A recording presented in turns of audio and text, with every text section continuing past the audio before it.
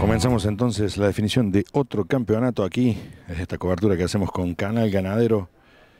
Usted está viviendo todas las juras y empezamos en este caso por la categoría Junior, donde van a participar el Guayabo, el lote número 5, un hijo de acorazado.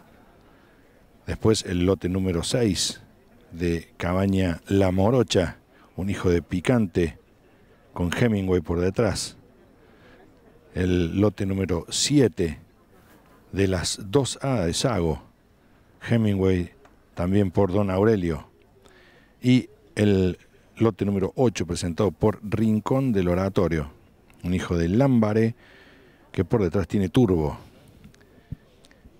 Una vez que están presentados estos ejemplares que participan del Junior, le vamos a dar algunos datos más. Por ejemplo, el ejemplar de Guayabo, que ahora está observando el jurado, tiene 41 centímetros de circunferencia escrotal, 670 kilos de peso. El número 6 de la cabaña La Morocha, de la zona de Río Cuarto, de nuestros pagos, tiene 41,5 de circunferencia escrotal, 689 kilos de peso. Las 2A presenta un ejemplar como decíamos, Hemingway con Don Aurelio por detrás, 36,5 de circunferencia escrotal y 662 kilos de peso.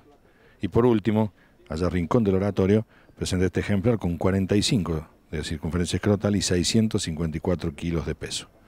Trabaja entonces el jurado Alejandro Becerra para la definición de otro de los campeonatos, el campeonato junior, aquí en la tarde de Expo Bra 2021. El, jurado otorgó entonces el campeonato al box número 8 presentado por Rincón del Oratorio, este hijo de Lámbare por turbo de 45 circunferencia escrotal de 654 kilogramos de peso.